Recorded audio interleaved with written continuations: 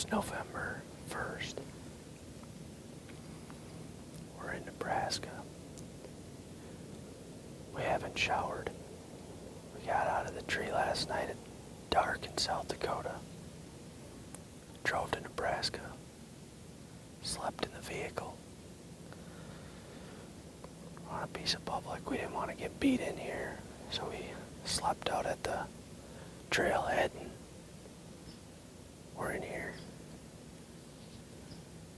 Can't say we had a clean entrance. We did jump a couple deer, but we're hunting a brand new spot. We're on a big ridge top. Um, we're surrounded by timber. We're right on the elbow of where this ridge kind of horseshoes. Virtually no wind up here right now. Our thermals should be rising. We speed scouted this a while back and uh, been running a cell cam in here. There are a couple good bucks in here. But uh, we'll see what happens. It's November 1. Took us a while to get set up. We bumped some deer, but anything can happen.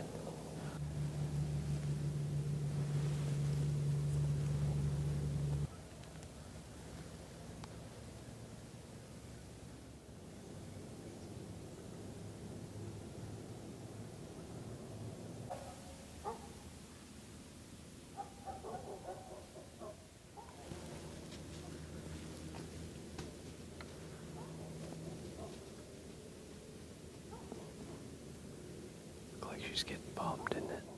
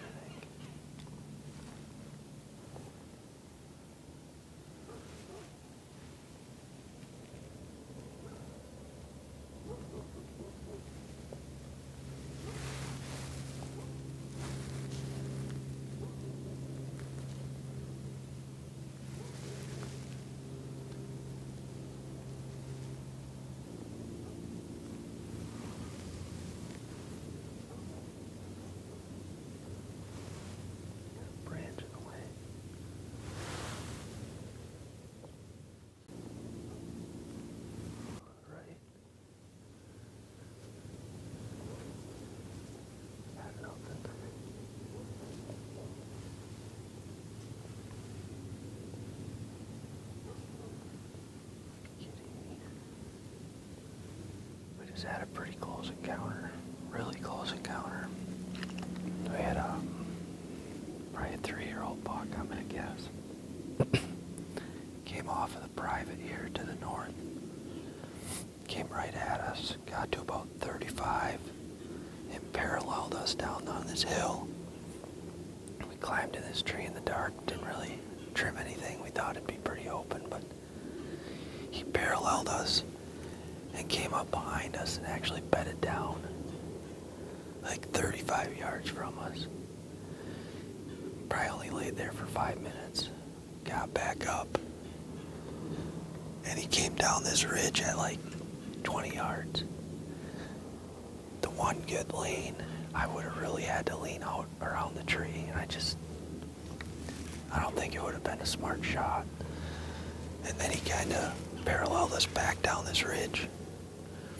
And of course, my one lane, I needed him to come about two yards closer because I got two limbs about that size covering his vitals. But anyway, he kind of worked back off of his ridge down into the next valley. Pretty cool buck. He had a nice five point side on his left and, and like a big spike. Maybe a two point on his right side, but hunting for probably 50 consecutive days, damn near. And that's the closest encounter we've had, so it's a kind of a tough pill to swallow.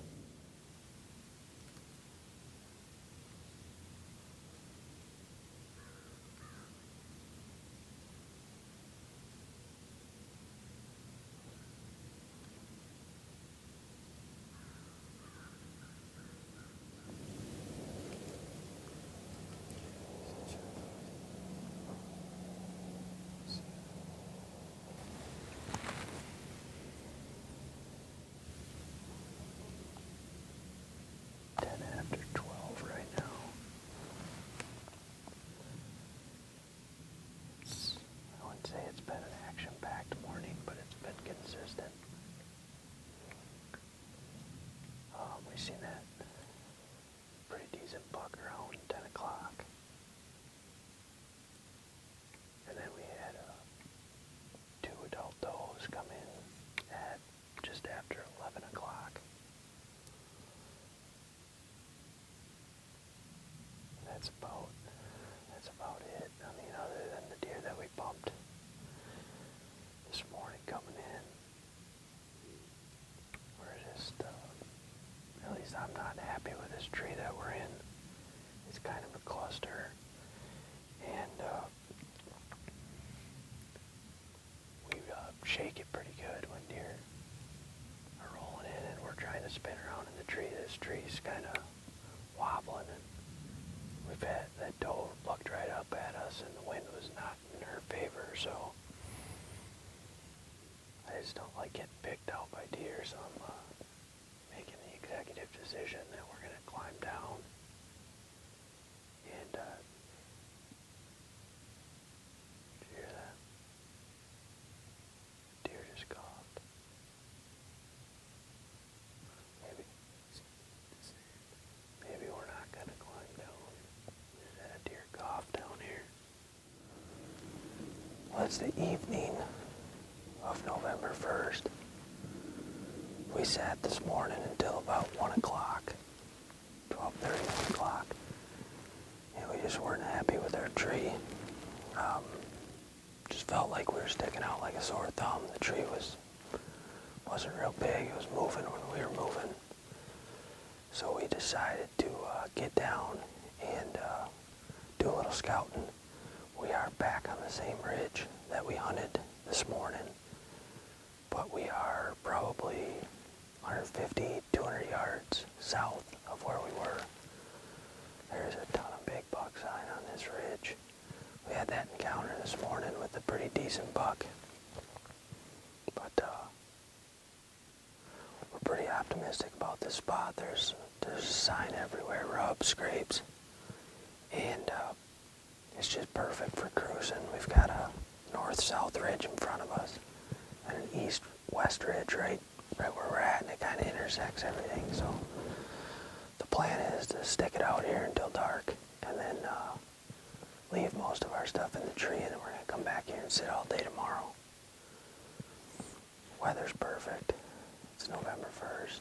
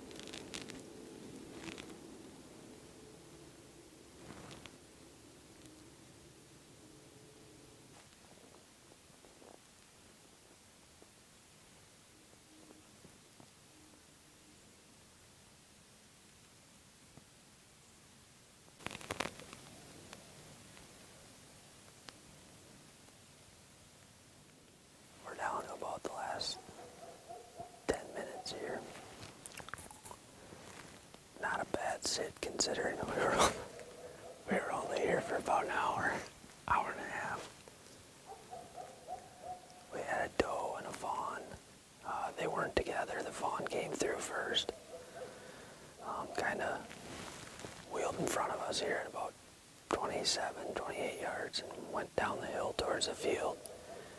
And then uh, probably a half hour, 40 minutes later, a, lone doe came through. But uh, feel really good about this spot. I, I think this is where we need to be.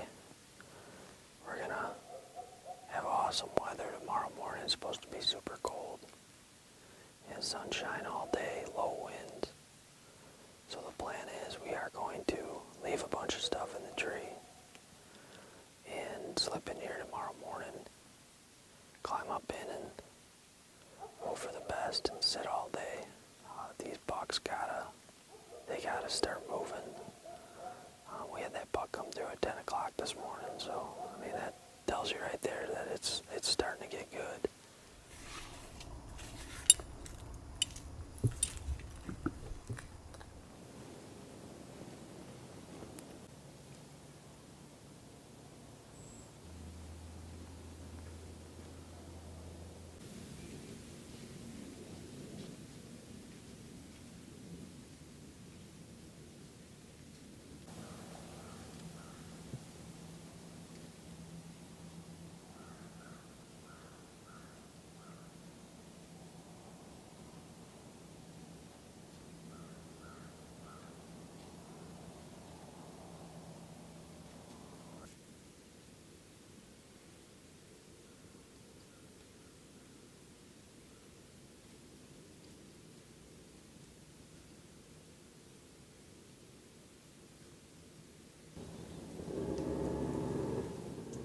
It's 1050 right now. We just acquired a new target here in the last half hour. We had a piebald buck come past us down below. Oh, he snuck through the thick stuff. Went up the hill and he came back through. Unfortunately, JP wasn't able to get him on a camera because he was in some pretty thick stuff, but he's like 50% white. I mean, just a badass deer. He's only a year and a half old, but I don't care if he, if he comes back through here. I am lighting him up. So, another target buck in the area. Weather still is perfect, calm, sunshine, and cold. Hoping for some of that midday action here.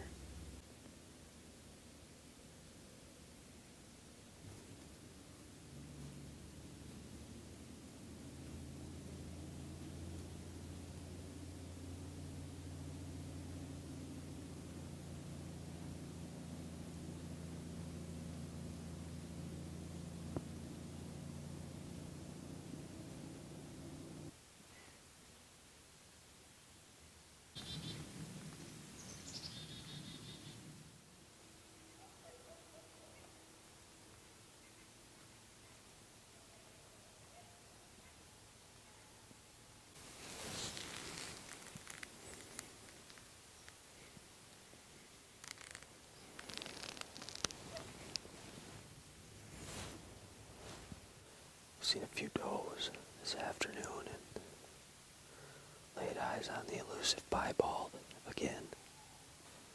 Actually, two different times. JP picked him up in the bottom, and then that was probably an hour and a half ago. And then we just seen him here a couple minutes ago, about 60 yards.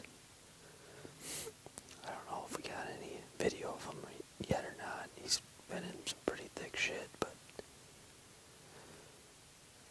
anyway, um, pretty solid day. I think we've seen six different bucks and probably about just as many does and fawns.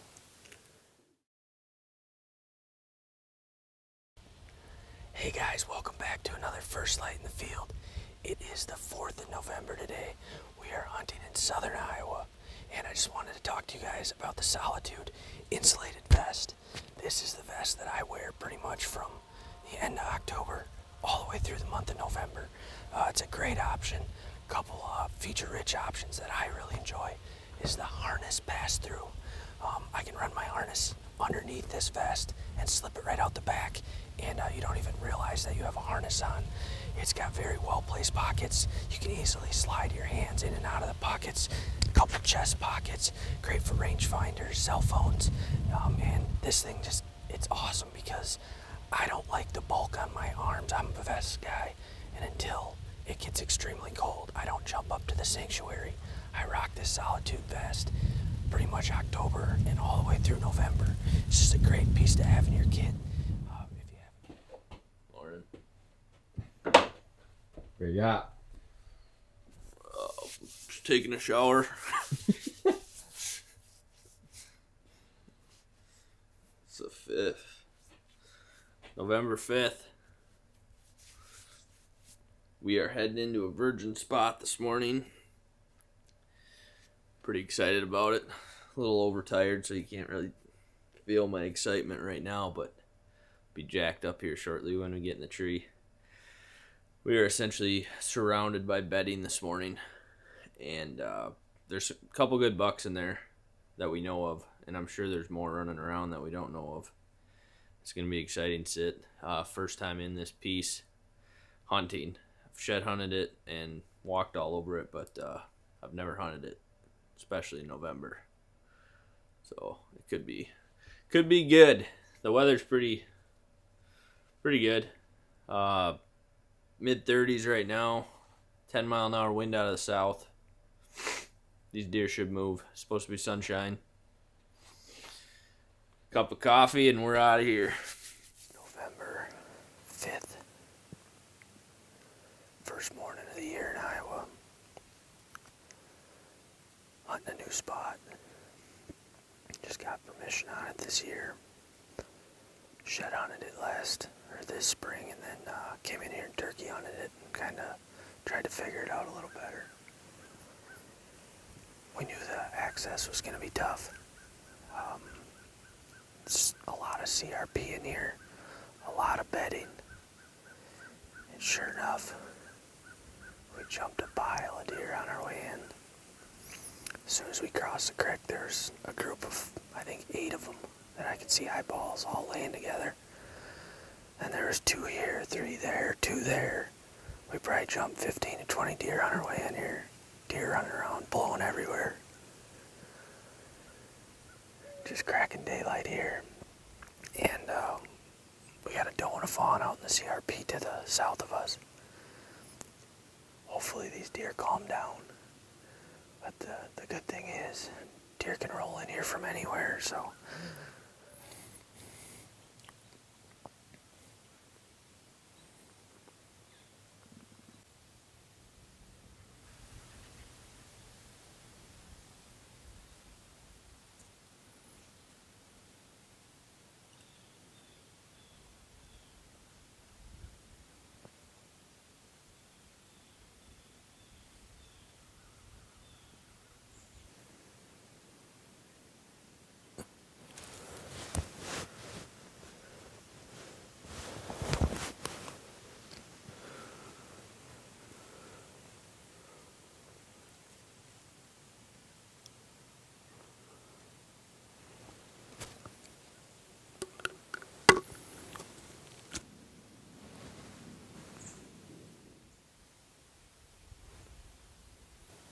Going on about 8.15 right now.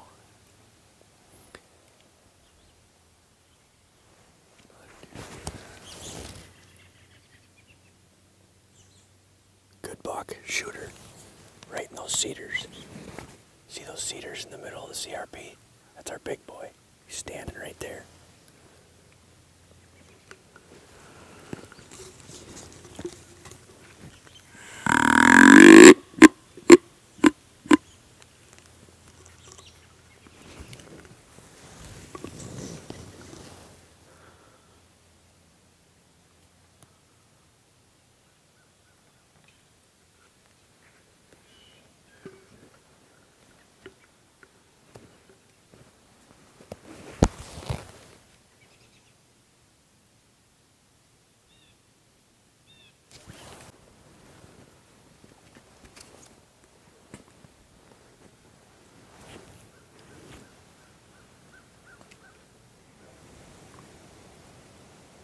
Coming right to us, right down the edge.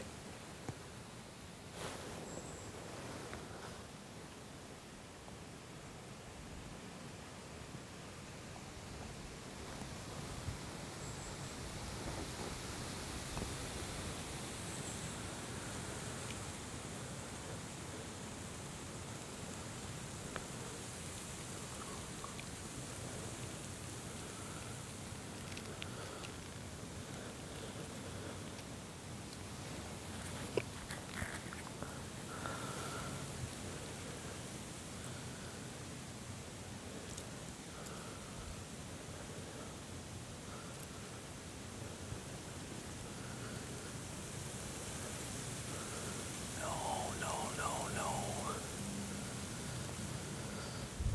No, no, no.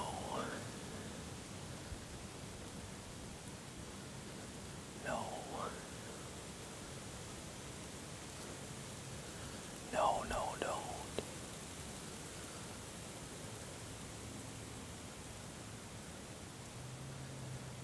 Come on. No, no, no.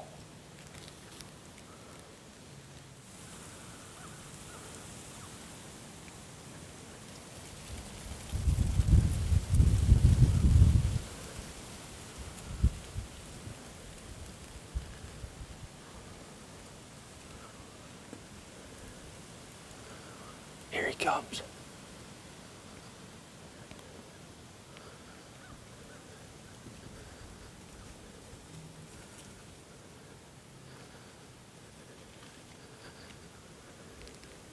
Get ready. Bat.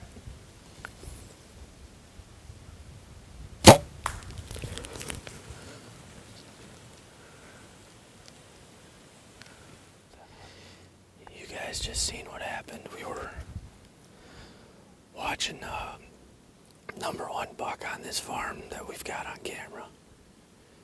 Just a big, mature 10 pointer, probably 160. He's had this doe pinned down out here in the CRP for the last, we've been watching him for probably close to an hour. Kind of worked her up into a thicket. She brought him back out. They ran into another deer. And finally, that doe came right down this edge, right to us. She cut in. She cut into this tree row sooner than I was thinking she was gonna. Sure enough, he came busting out. I had ranged a few things down here, but I did not range the trail they were on. And I was so rushed, I didn't think I had time to range because he was running after her. And I guessed him for about 22, 23. I shot. My left and right was good. I was a, a touch low. But we just watched the footage back. My arrow did something funny when it hit him.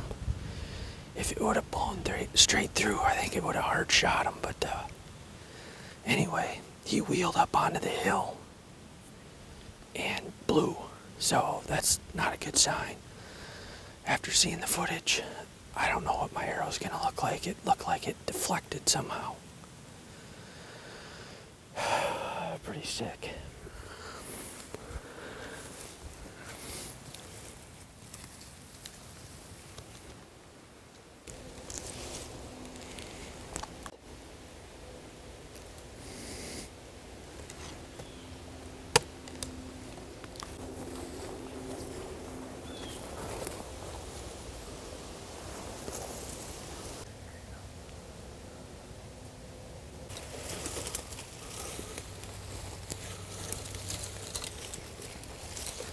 That's 20 to 12. We tracked that buck for, let's say, 250 to 300 yards. It was tough tracking. Decent blood for a ways. Then he would get into the CRP and tough to see the blood. Then he'd get back down to where there's leaves and we'd find the blood and find a speck, find a speck. He took us all the way up to the end of the thick stuff. Kicked him up. JP seen him, I didn't see him. But uh, he said he was moving pretty good, so I think it's a non lethal hit. But had to check. Like I said, with the shot, I figured he was either dead right away or he wasn't going to die. And I don't think he's going to die. I feel like we gave it our best effort. Um, we're going to pack out of here. A tough pill to swallow. We got a few days off. Ain't to make uh, sitting around much easy. It ain't to make sitting around very easy for the next few days. But that's bow hunting. If it hasn't happened to you, you haven't hunted long enough.